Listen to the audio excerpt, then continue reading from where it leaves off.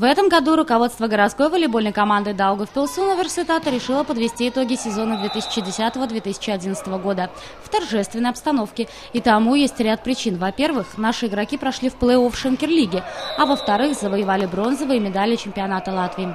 Но чтобы праздник получился действительно красивым, было принято решение пригласить в город сильнейших игроков Европы, которые начинали свою карьеру с нашей волейбольной школы.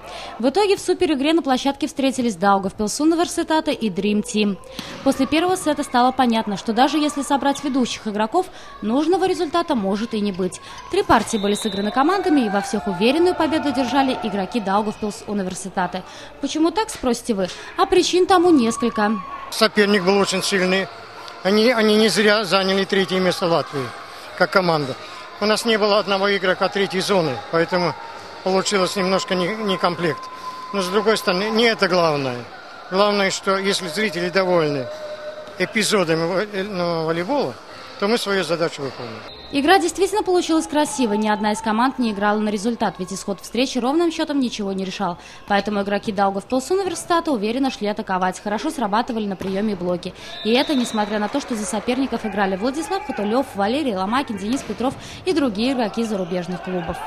Ребята, которые играют за границей, которые в Латвии играют, команда Dream Team э, уже больше, чем полтора месяца, около двух месяцев не тренируется. Ну и немножко выбыли из такой физической кондиции. Нам в этой ситуации попроще, потому что мы все равно тренировки продолжали. У нас были тут и соревнования и Латвийской универсиады, и другие соревнования. Мы немножко, мы более в форме физической.